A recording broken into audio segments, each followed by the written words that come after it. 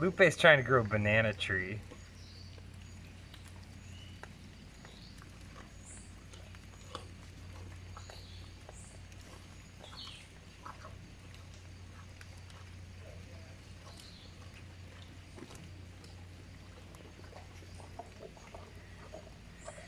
yeah, good secret banana stash now.